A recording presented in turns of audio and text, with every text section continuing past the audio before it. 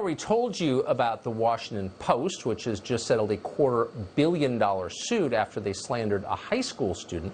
And we told you we were hoping to speak to someone from the Washington Post. And The person you'd speak to, of course, is a character called Erik Wemple, who covers media there and covers for the owner of the paper, the world's richest man, Jeff Bezos. He didn't come. He was afraid to come on the show. He has been here before. We want to put a picture of that on the screen because it's one of our favorite pictures ever. And we want to reiterate our invitation to Mr. Wemple.